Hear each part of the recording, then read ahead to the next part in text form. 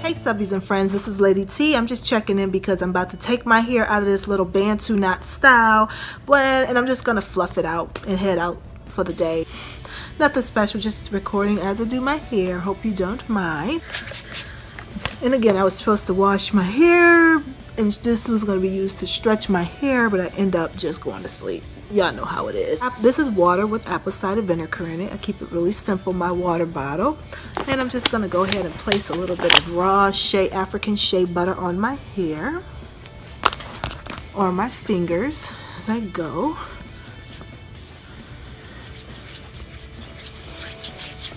It's pretty cold outside.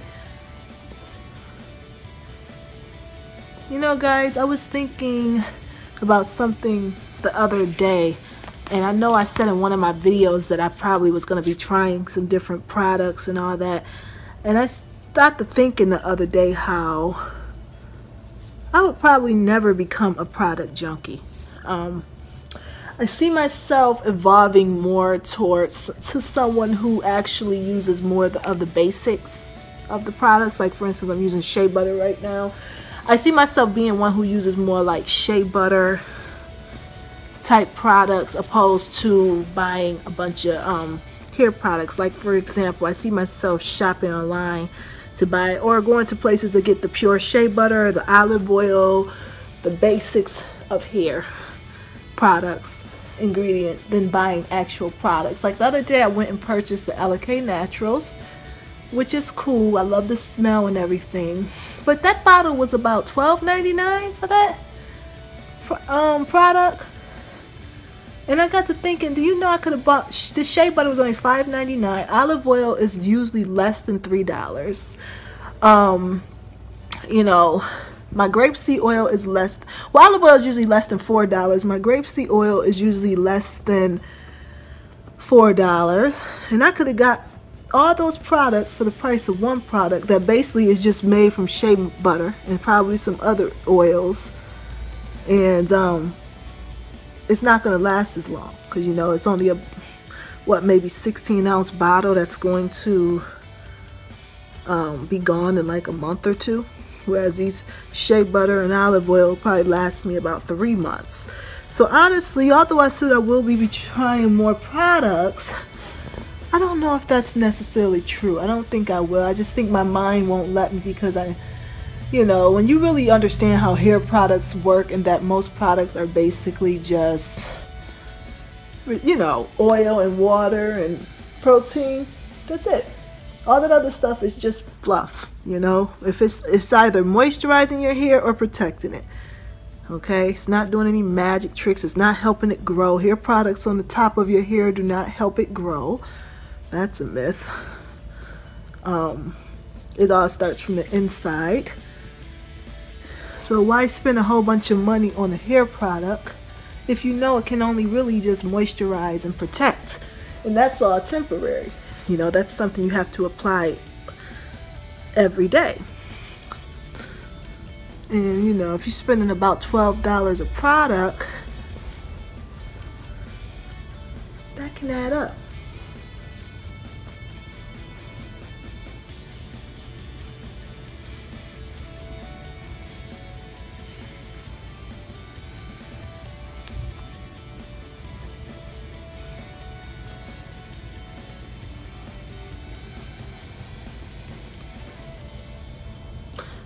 I just realized I'm kind of running low on grapeseed oil.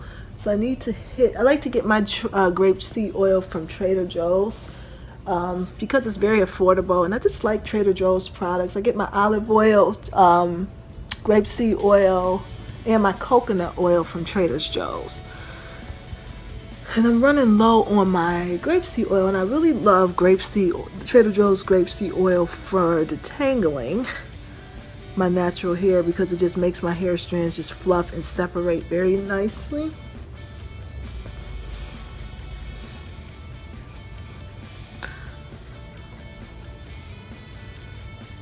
My hair feels pretty soft, I must say, although it needs to be washed. It's amazing what water can do to your hair, the acidic water.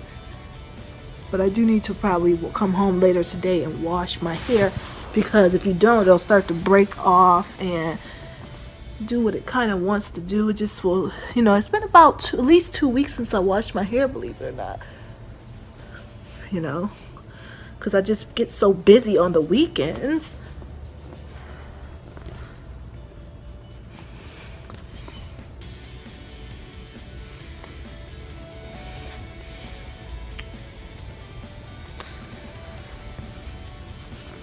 just gonna rub a little bit more shea butter on my hair and then I'm just gonna fluff it out a little bit. I kind of don't mind leaving it a little tight looking, but I'm gonna fluff it a little bit more around the middle with my hands and then I may pull out a pick just to kind of get in areas I can't really get to so I can get out of here.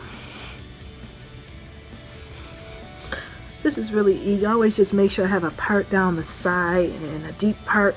Then I'll just touch my hair with my hands as much as possible. Like this is also a great time to maybe grab some tea tree oil since I haven't cleaned my hair in a couple weeks. It's been at least one or two weeks, at least two weeks. But my hair is not inchy, surprisingly. And I think it comes from using that apple cider vinegar water because the apple cider vinegar is killing the bacteria as well.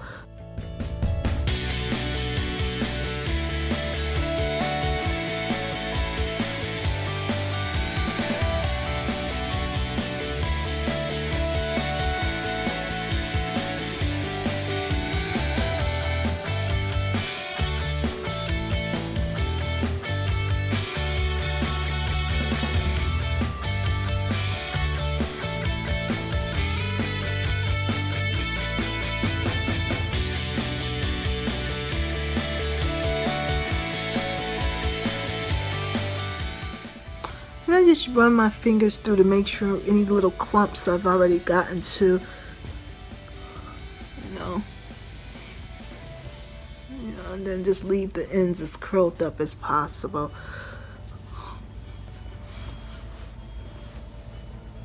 Okay, I'm back. I went and grabbed my little pick. Okay, grabbed me a little pick and then I went and grabbed my little tea tree oil. I love the smell of tea tree oil. It's a little potent. This is a cheaper, I got this probably from Spring Valley. I don't know who carries the Spring Valley van, probably Walmart. Um, if I can't, so I just went on Walmart. Probably bought it from a local Walmart. And I just put it on my scalp. Even though it's not inching, just makes me feel like my scalp is, any bacteria is being worked on.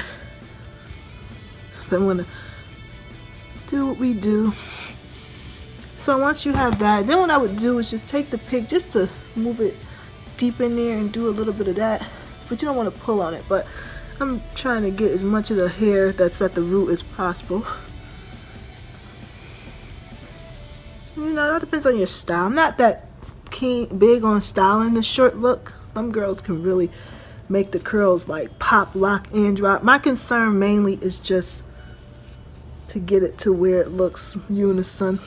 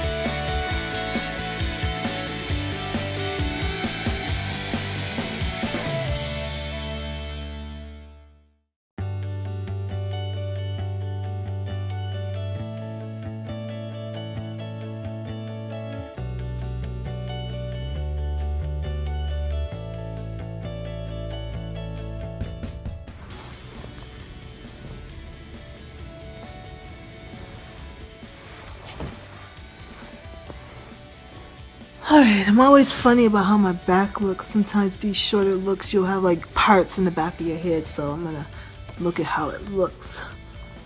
But this is pretty much the finished product.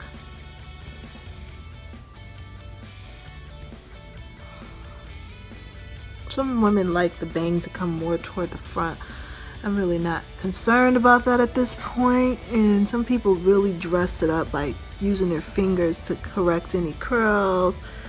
I don't really be wanting to be bothered with all that. I usually like to add a little moisture to it because then the um, moisture will help the hair swell up and look more unison as well. That's another secret to fluffing and it's very soft. Still got a little frizz to it but I don't mind it um, because I didn't really expect to be wearing my hair out in these Bantu knots. I thought I was going to just wash my hair, but that's why I love Bantu knots because you can go from transition to another style. You can wash it so, so it'll be stretched. So my hair, I always wear Bantu knots. Bantus is one. Bantu knots are some of my favorite transitional style like if I don't know what to do with my hair, I like to throw it in Bantu knots because I know no matter what, I'll be fine the next morning. And I like it because it stretches my hair and it gets my hair out of my way. And because it's curled on the ends, doesn't my awkward shape doesn't stand out as much. Okay. Well, guys, how do you like it?